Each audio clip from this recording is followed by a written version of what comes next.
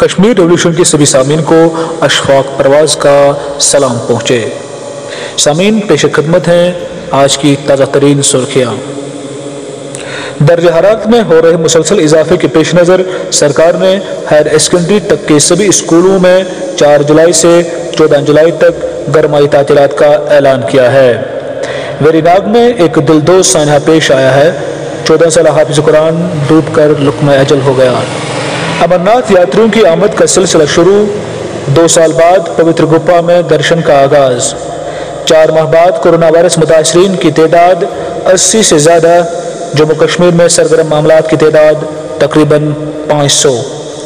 सरकारी अस्पतालों में मुफ़्त फराम की जाने वाली अद्वियात गैर कानूनी फरोख्त की खबर देने वालों को इनाम दिया जाएगा। जनरल मैनेजर का बयान। जाली सिम कार्ड का धंधा। बड़गाम में ग्रुप बेनिकाब तीन अफराद गिरफ़्तार। बड़गाम में पैंतीस साल खातून की करंट लगने से मौत वाक़ा हुई है। नुपुर शर्मा को अदालत उजमा की फटकार, मुल्क से माफ़ी मांगने की हिदायत। उधर एंटी करप्शन ब्यूरो की कोकरनाग में कार्रवाई, रेंज ऑफिसर और फॉरेस्ट गार्ड रिश्वत लेते हुए रंगे हाथों पकड़े गए। समीन अब मौसम से मुतल जानकारी। वादी में चार से पाँच जुलाई तक भारी बारिशों का इम्कान है। तब तक मौजूदा दर्ज हरारत बदस्तूर रहेगा। डायरेक्टर महकमा मौसमियात, सोनम रोड्स का बयान। इसके साथ ही आज की सुर्खियाँ अख्ताम को पहुँचती हैं। अपने मेज़बान इशफाक परवाज को दीजिए इजाज़त। अल्लाह ने गहबा